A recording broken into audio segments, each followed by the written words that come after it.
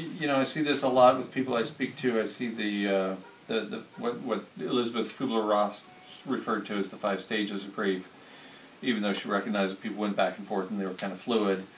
Um, that that there's uh, um, denial and anger.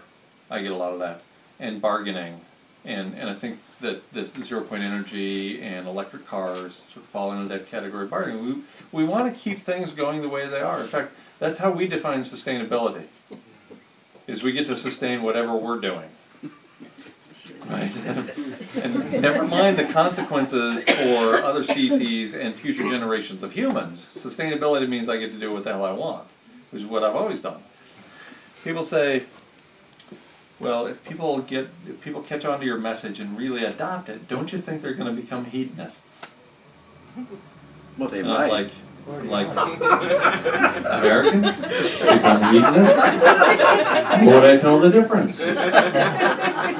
but, but, We but have the Paul, world's reserve currency. We do whatever we want. But that Paul Ehrlich, maybe he said early in that talk, uh, he said, "You want to become a member of the Titanic Club?" Right, And he said, "All you have to do is remember this motto: If you if you buy a ticket for the Titanic, don't go steerage." Exactly.